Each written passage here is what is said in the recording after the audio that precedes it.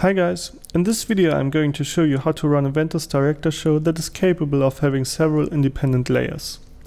I will show you shortly what the layout scene of the project needs to look like and how to set up the topology for this use case.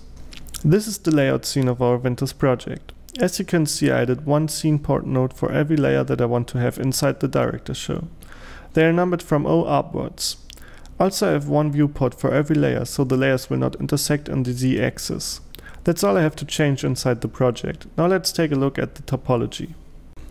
In the topology editor on the Ventuz Director start screen, we need to create a new topology with two channel slots. In this case, we only want to work locally, so we can use the local preset. Now create a second channel and rename the old one so we know what it's for. Now connect the channel to the according channel slots of our local cluster. And now our topology is ready to use.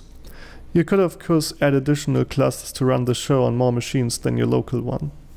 Inside the director show you can now create an additional channel so you can control both layers with the director.